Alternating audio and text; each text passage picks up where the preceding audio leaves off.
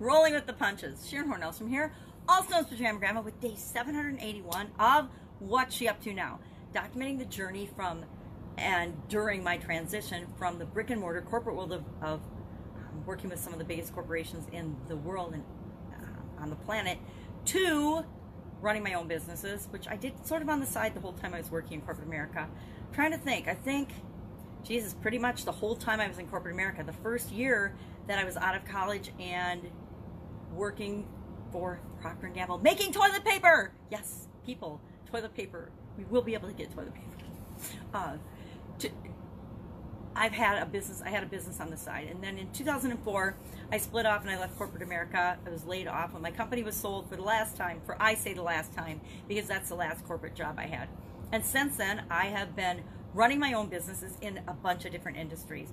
I counted up a while ago, and I've been in at least 27 different businesses and industries in my career. Now, it's been a long one, right? I've been in business for 47 years, and I like to think I don't look that old, but I definitely look that old. and today I want to talk about rolling with the punches. And why do I want to talk about rolling with the punches? Well, primarily because that was the idiom I talked about my Supersize Your Business video earlier. Uh, but it's really applicable to what's going on right now in the world. And if this is an unprecedented time, I mean, nothing, never in my lifetime, in my 60 years, have I seen anything like this and I like to hope that I will never see anything like this again, that we're learning from the situation and we're adjusting and adapting. And of course, we'll survive, but but how will we come out? Nobody knows how we'll come out or how long it will take. And that requires that we be flexible and we roll with the punches. But as I'm thinking about rolling with the punches, I think it's really important that we remember that we have to focus on our personal current situation and finding solutions for that. So often, we get carried away and we kind of live vicariously, not always in a positive way, but vicariously through other people in a negative way. And we don't necessarily realize that it's impacting us. If we watch the media, if we're looking for all the stories of, of doom and gloom and how horrible it is and how bad it is in other places, we're that's impacting us whether we know it or not. I I'm not watching the media. I'm I'm going to tell you, but then I haven't watched the media since the 1980s when I went through a training when I learned to make toilet paper at Procter and Gamble, one of the best trainings and one of got me on my lifelong learning journey. Uh, although I'd always liked training and learning things, uh, that's what really started me on this massive um, continuous improvement and learning journey was a training called Louis Tice training. And we were challenged during that training for one week to turn off our televisions and not watch TV for the entire week. See, I've been doing challenges a long time, even before then, but that, that was one. But we were challenged for a week to turn off the television and not watch the news or listen to the radio. And back then, we didn't have the internet, if you can imagine that. Um, and it stuck with me. It stuck that number one, I had so much more time and energy. I felt more positive about the world and about my circumstances. So I, I quit watching it back then. So now I get little reports here and there, but for the most part, I am not focusing on other people's stories and what's going on in other parts of the world. I'm not doing that from, I guess I am doing that from a selfish standpoint. I know that if I focus on what I can do, I focus on my situation, that this tool shall pass faster and better, and I'll have a better impact on my family and those I love and care about than if I am worried about every toilet paper shortage, if I'm worried about every um, place that's having more deaths, if I'm worried about the possibility of hospital beds not being enough. Now, I will tell you that the universe and universal laws, and this is pretty woo woo for a lot of people, how it works, everyone, is our collective consciousness creates what we think it's going to create. So if we are all watching the news and all the stories about how terrible this is going to be and millions of people are going to die and there's never going to be enough hospital beds and, and other, you know, all these bad doom and gloom things, guess what we're all creating? We're all adding energy to that story. But if we all do what we know we can to improve the situation, hey, get away from each other. Let's do social distancing. It's not going to kill us. Guess what? In this connected world of the internet, social distancing, okay, so we're not physically with somebody, but you can be with people all the time. You can use Zoom. You can use your phone. Almost everybody's got a cell phone, and we can do video calling and video conferencing. Remember feeling left out for a long time because a lot of my family has iPhone products and iProducts, right?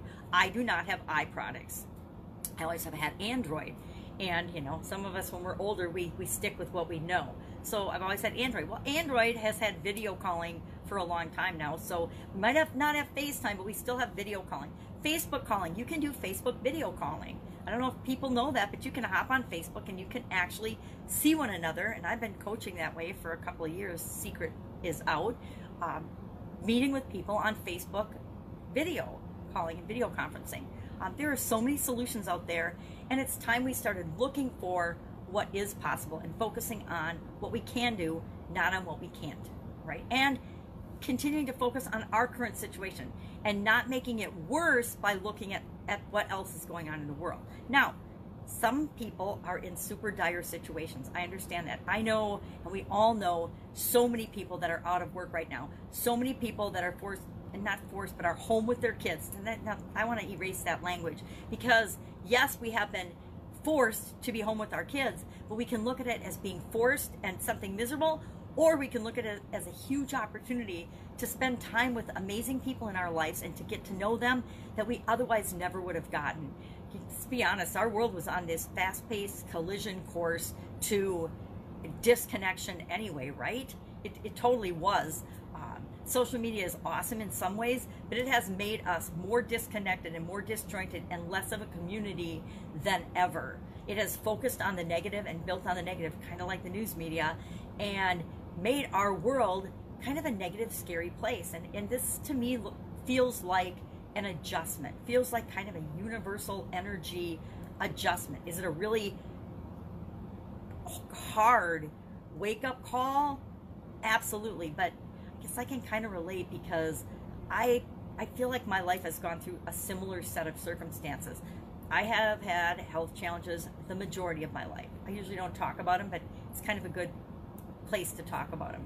Um, from the time I was a little kid, I had a lot of little illnesses and infections and um, challenges. I, I and I was kind of a klutz and accident prone. I ripped open my mouth when I was two, cracked my head open when I was three, um, and it, it kind of went downhill from there, right? But I always had tonsillitis, laryngitis, throat issues, and things like that. So even my granddaughter says, Grandma, don't sing. Please don't sing. And for some reason, the last couple of days I've been singing, and she's like, Stop, please stop. And she puts her little hands over her ears and closes her eyes and shakes her head. And I'm like, Okay, I forget I'm singing. It's pretty much like a rusty gate hinge. Pretty, pretty miserable, pretty bad. Um, but I focus on what I can do, not on what I can't do. I can't sing, so I do things I like to do, like cook. I love to cook.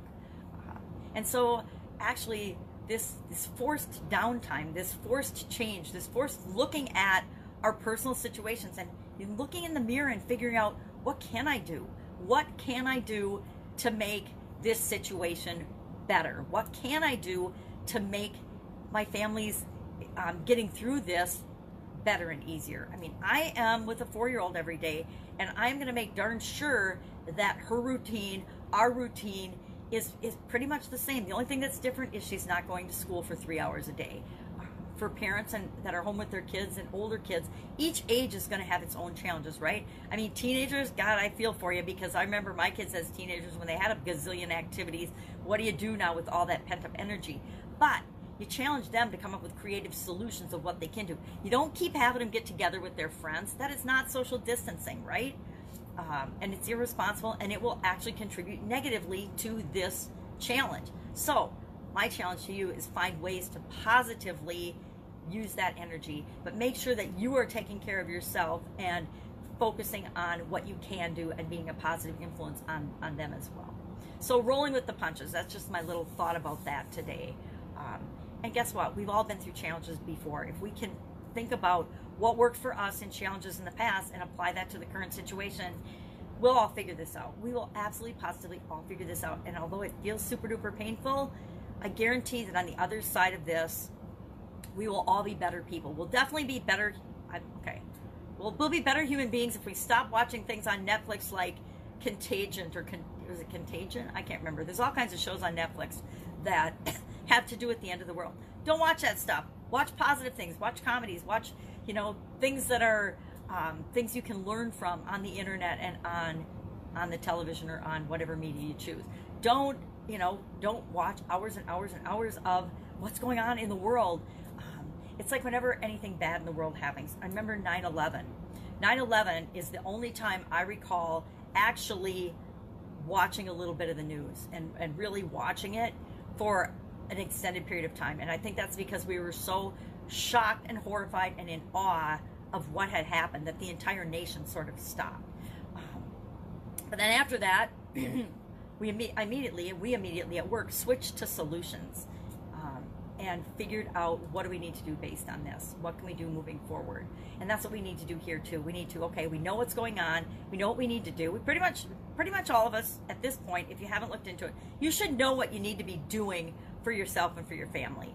Um, it isn't going out and emptying the grocery stores, although they're doing an incredible job of restocking, as I knew they would, um, and getting things going. Uh, I was not prepared. I, I'm the first to admit it. I just moved, and part of my move was to get rid of everything, all of my pantries, everything in the fridges and freezers. And so as I moved into the new location, which we just closed a week, well, March, what, what day was it? March 7th? Or, no, that's not, whatever day it was, March, beginning of March, first week of March. Um, so I, like a whole lot of people, wasn't prepared with a lot of stuff. But I didn't go out and panic. And part of why I didn't go out and panic, I'll be honest, is because I can't drive, right? I am legally blind and I can't go out and drive and go to the stores and clean it out. Not that I would have anyway, but I would have probably gotten my usual weekly things like fruits and vegetables and meat and, you know, snacks and things to have in the house. But uh, I, I didn't do that. Now, I believe that everything works out and everything, the universe will, you know, survive. Whether I have my ducks in a row or not, I actually have ducks in a row here, just as a as a metaphor. Plus, I love these little ducks. And my granddaughter and I, one of the cool things that we're doing, we actually brainstormed a list of, of things we could do over the next month to, to be positive and fun. And one of them is organize all the toys and all the crafty type stuff and find things around the house that we could use for projects and activities and crafty. So it's a really cool time to get super creative and use your imagination to find things that you can do instead of focusing on, oh, I can't go snowboarding because the snowboarding places are closed. I can't go to the theater. I can't go to the bar or the restaurant. I can't go out to dinner. So what can I do? Well, I can still go get takeout and I can make a fun family picnic, or I can still do whatever, fill in the blank, and make sure you're doing those things.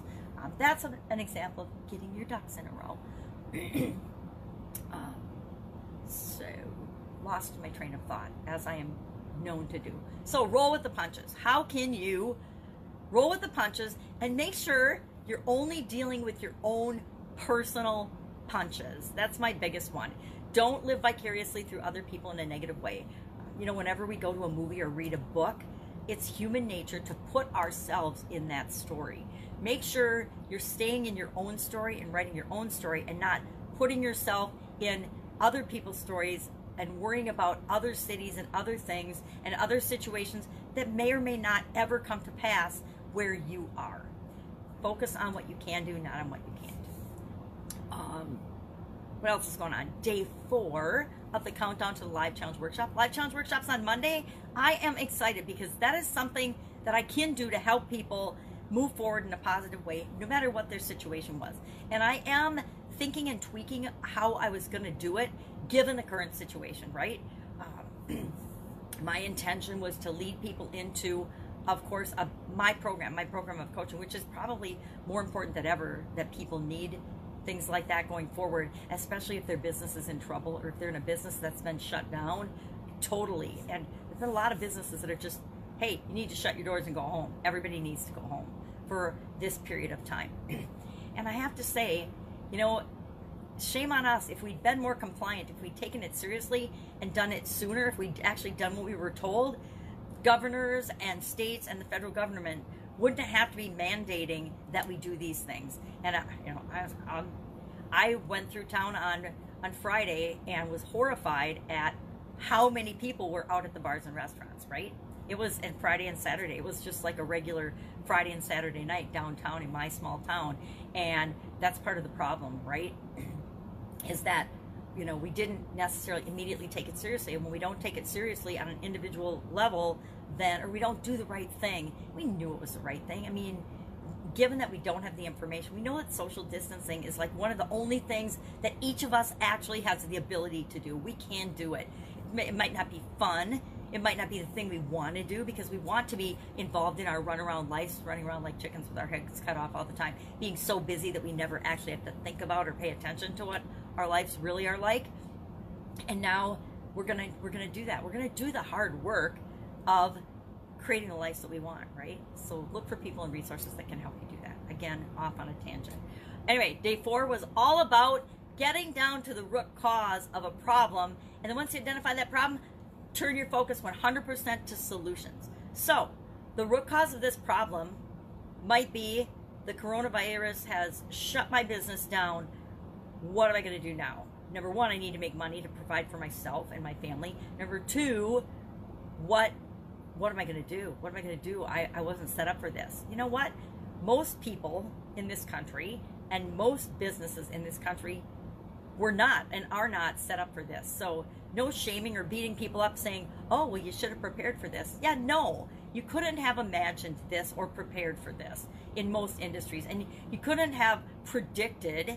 So, you know, the pompous people that are saying, well, you should have known and you should have prepared better and you should have planned for this and had contingencies. Yeah, you can have contingency plans, but I guarantee any contingency plan that I ever created for any of the businesses that I've ever had, including corporate America, never included a, a, a nationwide shutdown of entire industries, right? Or entire businesses. And it just it didn't include that. So even me, who is big on contingency plans and what if scenarios and being prepared, I was and totally unprepared for this. Now, maybe my going online from offline in the last couple years helped to prepare me, but it wasn't really a conscious decision for, oh my God, if, if the world has a catastrophe, this is what I'm doing. It definitely wasn't conscious. It was because I wanted more freedom and I wanted more um, opportunity to do what I want, when I want, where I want, wearing what I want, with whomever I want, so that I could work in my robe and in my pajamas if I wanted to, instead of having to put on my suit and going to corporate America, instead of having to go to a physical business every single day and creating and I, and I love manufacturing. I love making things and creating things and manufacturing, but it required for the most part, although I did create the four hour work week in the Italian food business, it did require for the most part that I physically be present, at least on some frequency. So I had done it not for, oh, doom and gloom, something bad might happen someday. I'd done it for, I wanted to change my lifestyle. And this will definitely create a massive influx of lifestyle changes for for the majority of us, right? Most of us are going to be changing our lifestyles, definitely for the short term, but for the long term after that. We're going to find out, guess what? We really like the people in our family. We really love our kids and we want to do more things with them and spend more time with them. We want to, to, say, okay, well, instead of having five after school activities, why don't we just have two or three? Or, or maybe just one thing that you really love and care about. You know, do we have to spend all of our time running, running, running through our life? And and I look back, I mean, I ran totally through my kids' lives, my kids' growing up years. And that's why I'm actually excited about and enjoying spending this year with my granddaughter, spending this year hanging out with her. We were already hanging out. We're just hanging out for a little longer every day now than we were before with her out of school. But I am trying to maintain the structure of that, and we're doing some things every day to work on the things that she would be learning in her school time, her school days. And I would say if your kids are school age, make sure that you are keeping not all the structure, but some of the structure and keeping up with the things that they would be learning if they were in school. Hey, we got the internet nowadays. There's no excuse for not Googling topics or research. A lot of schools, I'm sure, sent work home with kids and books home with kids, or you can get them online and stay a little bit caught up. But don't let, you know, boredom and being lazy and not wanting to do anything and, and feeling sorry for ourselves keep us from doing the things that we continue continue to do that will make us feel better, make us feel good, and will make the time fly. I guarantee if you've got a lot of activities and you're keeping busy, this time will go by really, really fast. No matter how bad your situation, we're, we'll be okay through it. If you need help with that, if you've got any questions, just ask in the comments below. Um, I might not know the answer, but I will help you find it um, to make sure that we're all helping one another to get through this amazingly bizarro time. I guess I can't even think of another word besides bizarro and un unprecedented, unbelievable, right? None of us, I could never have imagined this. I guess some filmmakers could have because they've written some weird movies about it, but for the most part, no. Uh, that's it. That's all I've got today. Go out, make it an awesome day. Take care of yourself, take care of each other, and if I can help you in any way, just ask, and I will will be in touch. Take care, and otherwise, join us in the live challenge workshop. I guarantee it can help absolutely anybody in whatever situation you're in. It was originally designed for business owners, and I would anticipate it's still going to be geared toward business owners because um, business owners are the people that make the world go round, and they're going to need help. And I know if, I were in this situation um, a couple of years ago, I would be feeling the pinch a lot more than I am right now. And so I want to use what I can and do what I can to help the business owners because the business owners are the people that employ the people that are really struggling because they don't have a job right now and they don't have an income. So that's it. Have an awesome day, and I will, of course, be with you tomorrow.